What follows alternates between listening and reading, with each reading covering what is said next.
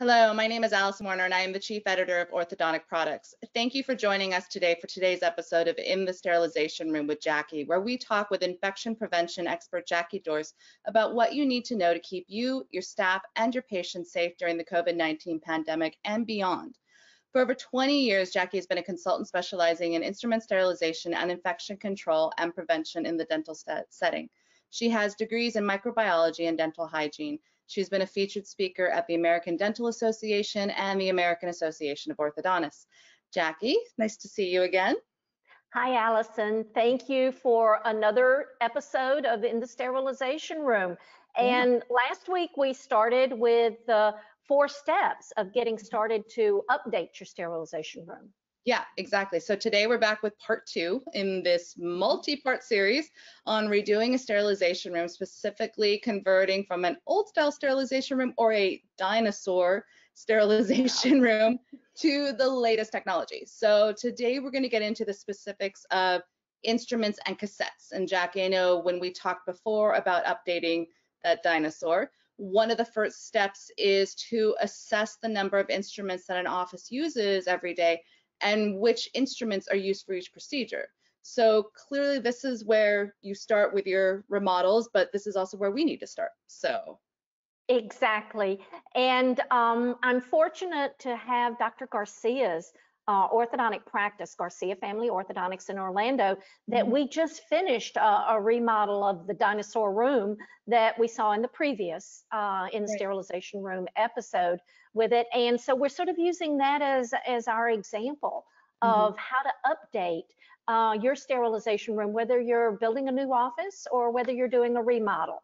Mm-hmm. And that's where I start with clients on the instruments. One of my first questions I ask them is, How many patients a day do you see? Okay. And that could be anywhere from 40 to 60 to mm-hmm. 80 to maybe 120. I have right. some offices that are really busy that are seeing that 120 patients a day. Mm-hmm. And of course, it's going to depend on how many patient treatment chairs they have. Now, during COVID, we've had to spread those patient chairs out further and mm-hmm. even s- sitting in every other chair if you need that extra distance for physical distancing during this aerosol disease um, mitigation type with it. But going back to the cassette, um, my first question is, um, is what when you're doing an arch, seeing a patient for an arch wire appointment, what mm-hmm. are the instruments that you normally use? And routinely, orthodontic offices will say, well, we have a Weingart, a ligature cutter, distal end cutter, Mathieu, then a mirror, and either an Explorer scaler. And most offices have gone to using a sterile cotton plier now. And that sterile cotton plier is if they need to retrieve something out of the drawer, say the elastics for the patients or some more ligature ties, whatever, that they don't have to take their gloves off and reach oh. into the drawer and contaminate the other supplies. So oh. we include a cotton plier in every setup for that. So if you think about the pliers that are in there, they're really three pliers mm-hmm. Plus the Mathieu. And that's what those handles take up the most space. Mm. They're wider than what I call the straight instruments. Right. So once we determine that, then I know do can we have a cassette that maybe only holds two pliers? That would be a real small one, but that's uh-huh. not enough for them to care for the patients.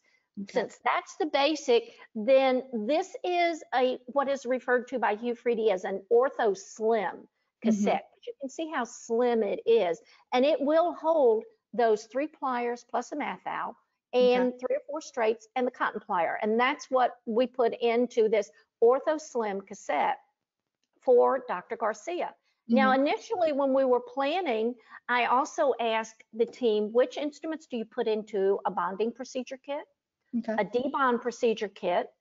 What do you use for an aligner patient? Usually that's just a mirror and explorer. Mm-hmm. So you can have mm-hmm. one of those in a pouch.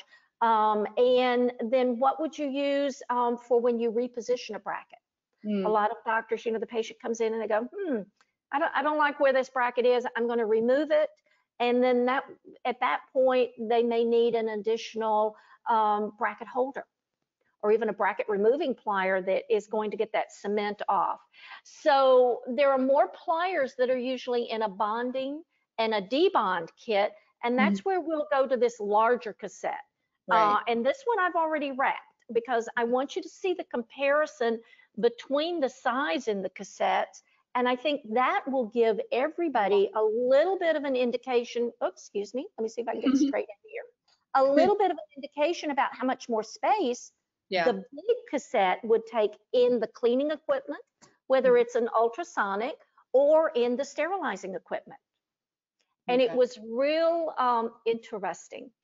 Mhm. After we had loaded the cassette uh, with the instruments and started sterilizing them, uh, Fabiola, who's the sterilization tech, she goes, Oh my gosh, Jackie, I can only get four of these big cassettes in the load, even though that sterilizer has that 11 inch chamber in it. Mhm. She said, But I learned that I can get eight of the basic cassettes in Right. there with the way that they load in because it is Mm-hmm. smaller.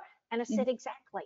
That's why I wanted to get you as lean and slim as possible so that we could maximize the number of cassettes that would go into each sterilizer load. So you do see a little bit about why you've got to start with the number of instruments, Right. then determine which cassette and be as compact as you can. Mhm. And then you can choose your equipment, the cleaning Right. equipment and your sterilizing equipment. And even then you can design the cabinet that those sterile cassettes and pouches are going to stay in. Oh, Now, with this team, when we Mhm. first started planning with this, they actually wanted in their basic cassette a um, bird beak and a three prong plier. Mhm. Because again, Dr. Garcia likes to bend arch wire every once in a while. So Okay. as we were planning, and these are our planning sheets with it, I think you can show uh, our viewers one of the planning sheets with Yeah. the list. We said, okay, how about if I give you a, a pouch in your drawer that has a bird beak and a three prong in it. And Mhm. then in, if Dr. Garcia is going to bend wire, and that doesn't happen with every patient, maybe, Right. you know, 10 patients a day or something, then Mhm. you'd have right, that right there. You wouldn't have to get up, leave your chair, take off your gloves, go to the sterilization room and get more instruments.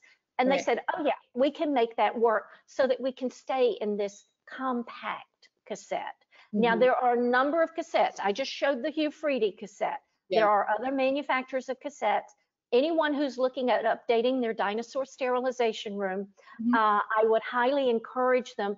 To, uh, to me, the Hu-Friedy cassettes are the best. Okay. They are polished metal. They do not corrode. They do not rust with them. Um, there are some other cassettes, but please do not look at the aluminum. I have seen a few aluminum. And if you put aluminum cassettes in ultrasonic solution with stainless steel instruments and Mhm. instruments that have that high carbide tip on them, you could Mhm. actually get a galvanic reaction between the metals and cause pitting in the instruments. Oh, okay. There's some plastic cassettes that are cheaper and they Mhm. are autoclavable, but they Uh-huh. don't last as long and they don't secure the instruments in place the Mm. way that these silicone rails, that's the, the colored rails that you see Yeah. in here, they Okay. actually lock those instruments into place. You don't hear them rattle. This, in, this Oh, okay. cassette's even loaded and you Mm. don't hear it rattle with that. Okay. So um, we're going to use the Hu-Friedy. Um, Mhm. uh, you know, the best always like to use the best. um, but there are other options for cassettes. So, you know, I, I want, I want, I want the listeners to know, the viewers Yeah. to be able to see that. So now we knew how many cassettes Dr. Garcia uh, needed. Then we calculated the number of instruments that it would take to fill those. How many Weingarts did they need? right. And it turned out that they were going to need like 33 Weingarts. oh, okay. And that's a lot. So Yeah. we had to look at how many did she already have in inventory and then order the extra instruments to go in there. And so then we were, that, that part was configured. Now we could select the equipment and the sterilization room. Once the remodel is done, that's the time to get the cassettes, place the instruments in them and go through some training on how to use them. Okay. Yeah. Okay. Well, it's, it sounds like so Dr. Garcia was moving from trays to cassettes. So what do what does the team need to know about that transition because it does seem a little bit different. It's very different, Allison. It's a total different mindset mm-hmm. because when the assistants are working with a tray, they're accustomed to having maybe loose instruments or a pouch and they just grab and they look at the schedule for, oh, what's that patient down for? Oh, I'm going to put a Weingart, a ligature cutter, da, da, because the older dry heat sterilizers, You Mhm. couldn't even put instruments in pouches with Mm. with one of it, like the DDS 5000. You you can't put instruments in pouches. So the assistants may be have been accustomed to having just to be able to select and set up their tray however they wanted to. Mm. Now that you only have the instruments that are in this cassette, you have to plan ahead and know what you're going to need for that procedure and learn to adapt to it. For Mhm. instance, for bonding, and if they have a repo done, they can take just the basic cassette Mhm. and then they would get a pouch to lay on top that has the bracket holder and a debond plier. Mm. And some of the, Dr. Garcia actually wanted a measurement gauge in there because she's that precise with her patient care on it. So we determine what extra instruments would you want to add to this that Mhm. will be in that pouch. So again, they have their basic cassette, 30 of those to get them through the throughput time. But we're going to use about 10 of those maybe a day as a bonding or a, re- a repo cassette, as the, as the assistants referred to it, repositioning a bracket uh, and adding that pouch to it. So the, the assistants have to change their mindset. I Mhm. can't just customize and set up every tray as I want to. I'm, this is my fixed procedure kit. Mhm. And then I have to add to it what I'm going to need uh, for that particular patient. So, um, what, and the assistants, they, they got a little anxious when I said, well, you may not have a bird beak in here. And then when we determined, yes, they could set up the pouches to Mhm. put in their drawer Mhm. and have those extra instruments available, then the concept sort of settled into them. Yes, I understand that I can add this pouch in. And I, I think we printed out a copy of their treatment chairs and then which pouch they would use at each treatment chair. And initially I had color coded the pliers to say you, you would have uh, three red plier, three reds, that might be three bir- bir- bird beaks.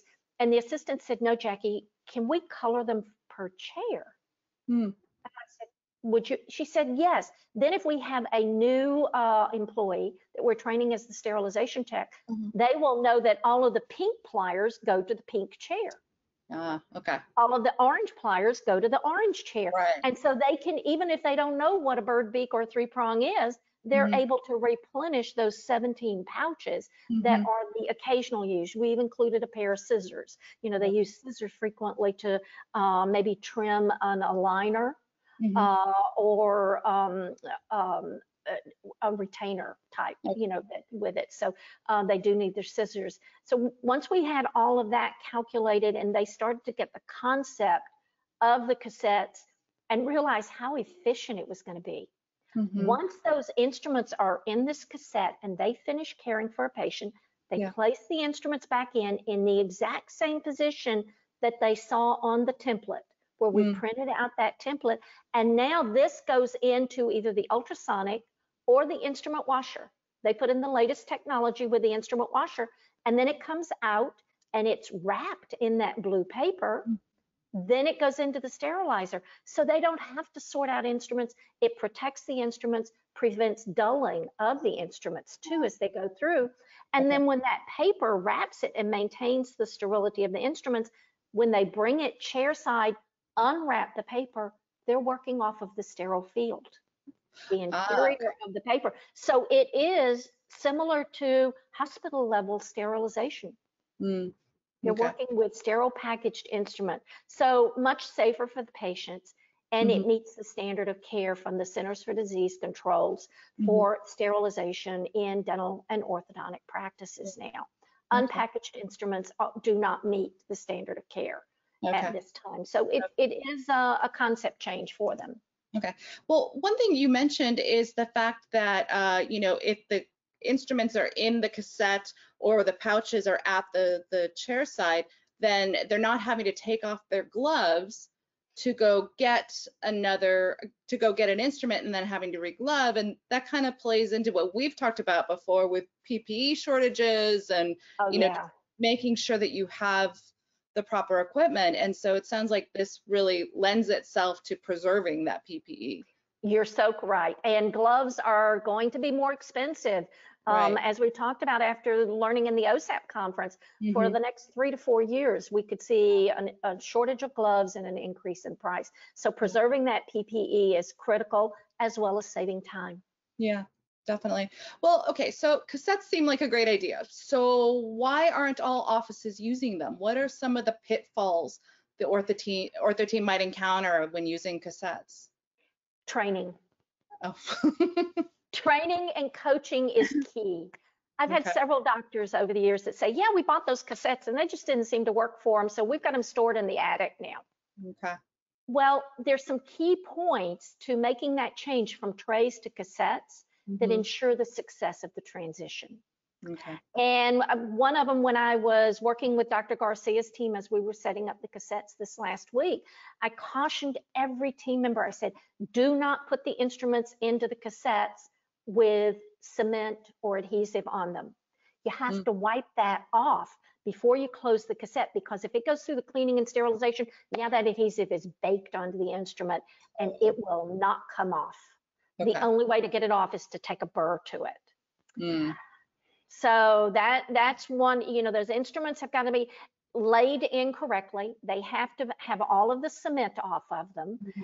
And then one of the other things is, you know, every once in a while an assistant will pick up a, a ligature cutter and it's dull. Or she'll pick up the, the Mathieu and the tips don't meet on it.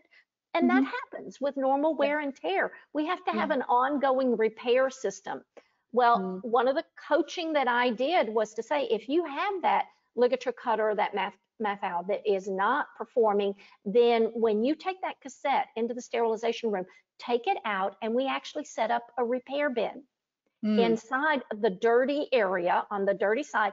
And I said, you're going to put it up there, but before you put it up there, take a piece of autoclave tape, wrap it around the handle, and write on it what's wrong with it.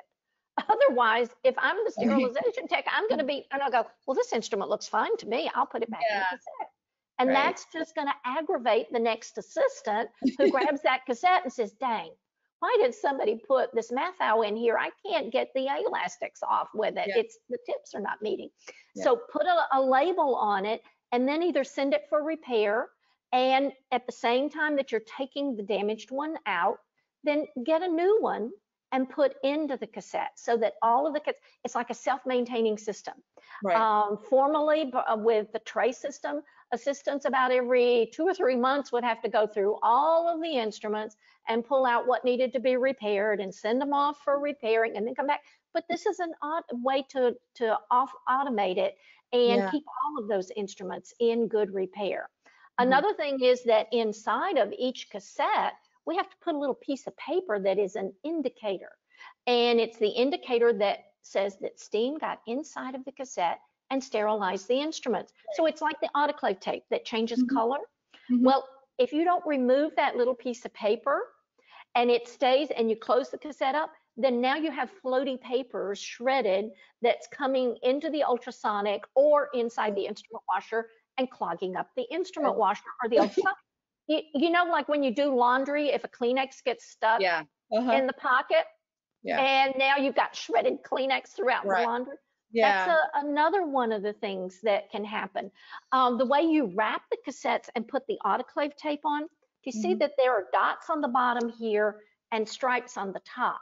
Well, Mhm. you always wrap with the dots on the bottom Mm. and then the autoclave tape is on the top.